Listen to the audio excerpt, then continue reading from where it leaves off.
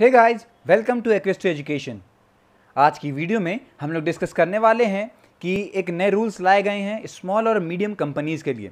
हम लोग देखेंगे कि किस तरीके से उनके थ्रेशोल्ड को बढ़ा दिया गया है, उनकी बोरोइंग कैपेसिटी बढ़ा दी गई है और कह सकते हैं यहाँ पे कुछ नए रूल्स भी लागू करे गए हैं। हम सब कुछ देखने वाले हैं अपनी आज की वीडियो में कि किस तरीके से हमारी सरकार अब लार्ज कैपिटल कंपनीज़ को छोड़ के या फिर कह सकते हैं कि लार्ज कैपिटल कंपनी के साथ साथ स्मॉल और मीडियम कंपनीज़ को भी आगे बढ़ाना चाहती है। क्योंकि यही आप कह सकते हैं इंडिया के अंदर स्मॉल और मीडियम कंपनीज़ जो हैं, वो बहुत ज़्यादा आप कह सकते हैं डेवलप हो रही हैं। यहाँ पे नए नए एंटरप्रेन्योर सामने आ रहे हैं, अपने खुद के बिज़नेस लोग स्टार्ट करने वाले, चालू कर दिया है लोगों ने।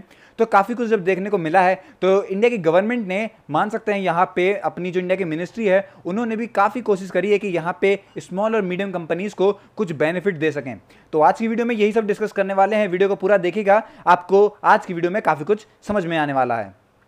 सबसे पहले हमारी जो कॉरपोरेट अफेयर्स मिनिस्ट्री है, उसने बोला है कि वो अब एक्सपेंड कर रही है टर्नओवर और बोरोइंग थ्रेशोल्ड उन सभी स्मॉल और मीडियम साइज़ कंपनी के लिए, जो कि आप कह सकते हैं अलाउ करती है लार्ज नंबर ऑफ़ फर्म्स और आप कह सकते हैं यहाँ पे उन्हें कुछ तरीके के बेनिफिट्स भी यहाँ देखने को मिल रहे हैं। हम लोग यहाँ पे देखने वाले हैं कि किस तरीके से यहाँ पे टर्नओवर और बोरोइंग थ्रेशोल्ड को बढ़ाया गया है।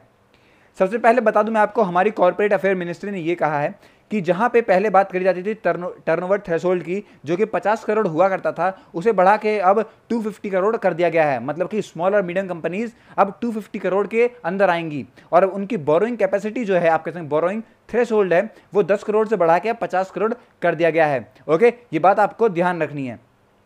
इसके साथ साथ यहाँ पे एक कंपनी रूल्स 2021 लाया गया है, जहाँ पे जो भी आप कहते हैं, जो कॉम्प्लेक्सिटी देखी जाती थी हमारे रेगुलेटरी फीलिंग्स पे स्मॉल स्मॉल फर्म्स के लिए, वहाँ पे भी इन्होंने कुछ एग्जाम्सन दिए गए हैं ओके तो काफ़ी कुछ हमें देखने को मिला है, और आपको यहाँ पे बता दूँ कि यहाँ पे कुछ क्लासिफिकेशंस भी करा गया है, जैसे बैंक्स हो गए फाइनेंशियल इंस्टीट्यूशंस हो गए इंश्योरेंस कंपनीज़ हो गई, ये सारी कंपनी एसएमसी में नहीं आएँगी मतलब कि ये सारी कंपनीज़ स्मॉल मीडियम आप कह सकते हैं यहाँ पे इनमें नहीं आएँगी कंपनीज़ में नहीं आने वाली हैं।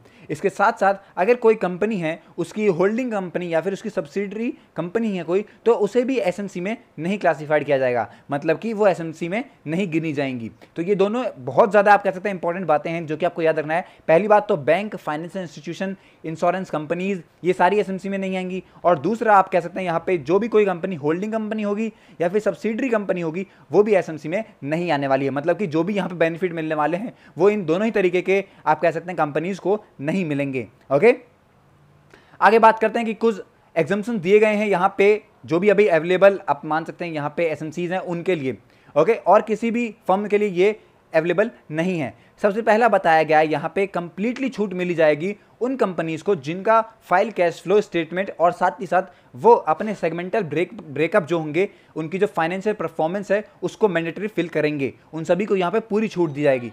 साथ ही साथ इसके आपको और भी बेनिफिट्स हैं।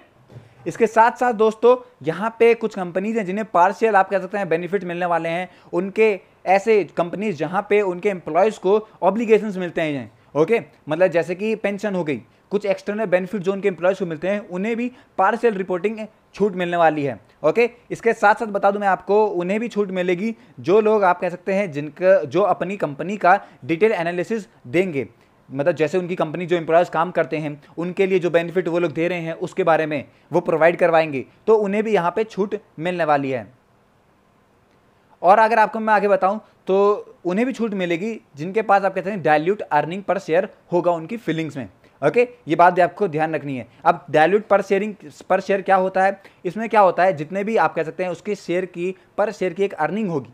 जो एक पर शेयर की उसकी अर्निंग होती है, उसे आप कह सकते हैं कन्वर्ट कर दिया जाएगा अलग सिक्योरिटीज़ में। और फिर उसे शेयर की एक्सरसाइज में यूज़ किया जाएगा। ओके तो ये बात भी आपको ध्यान रखनी कि किन किन लोगों को कहाँ कहाँ छूट मिलने वाली है। लास्ट में अगर मैं बात करूँ कि तो किस तरीके से इन फर्म्स को मतलब जो स्मॉल और मीडियम फर्म्स हैं, इन्हें किस तरीके से इंपैक्ट करने वाला है उसके बारे में ओके तो बता दूँ मैं सबसे पहले ही आपको कि एक्सपर्ट का ये मान, मानना है कि ये प्रमोट करेगा ईज ऑफ़ डूइंग बिज़नेस का इंडिया के अंदर। यहाँ पे मैं आप बता दूँ आपको इंडिया के पास इनका खुद का एक अकाउंटिंग स्टैंडर्ड है सारे एस के लिए, जो कि बताया गया था दिसंबर 2006 के अंदर। और उसमें हर साल मतलब या फिर क्या कहते हैं टाइम टू टाइम अमेंडमेंट होते रहते हैं, कुछ बातें चेंज करती रहती हैं। लेकिन जो इंडिया का ए एस है मतलब अकाउंटिंग स्टैंडर्ड है, वो काफ़ी ज़्यादा कॉम्प्लेक्स हो जाता है स्मॉल और मीडियम फर्म्स के लिए या फिर कंपनीज़ के लिए। वो बहुत फ्लेक्सिबल है, अगर हम लोग लार्ज कंपनीज़ के बारे में बात करते हैं। लेकिन अगर हम लोग बात करते हैं यहाँ पे स्मॉल और मीडियम फर्म्स के लिए तो बहुत ज़्यादा कॉम्प्लेक्स हो जाता है ओके और अगर मैं बताऊँ आपको, जो इंडिया का है आई एफ़ आर एस से आप कह सकते हैं सिमिलर है, जो कि क्या है? इंटरनेशनल फाइनेंशियल रिपोर्टिंग स्टैंडर्ड अब ये क्या होता है बता दूँ मैं आपको? ये बेसिकली वो कम वो कंट्रीज़ यूज़ यूज़ करती हैं, जो कि काफ़ी ज़्यादा डेवलप हों ओके तो ये बात भी आपको ध्यान रखनी है। आई होप दोस्तों इस वीडियो से आपको काफ़ी कुछ समझ में आया होगा। अगर अभी आपके कोई डाउट्स रह जाते हैं तो कमेंट सेक्शन आप लोगों के लिए है। कोई भी अगर आपको फीडबैक देना है तो कमेंट सेक्शन आप लोगों के लिए है। तो दोस्तों यही थी पूरी आज की वीडियो आई होप की वीडियो आपको अच्छी लगी होगी। मिलते हैं अपनी नेक्स्ट वीडियो में। तब तक लिए हैव नाइस डे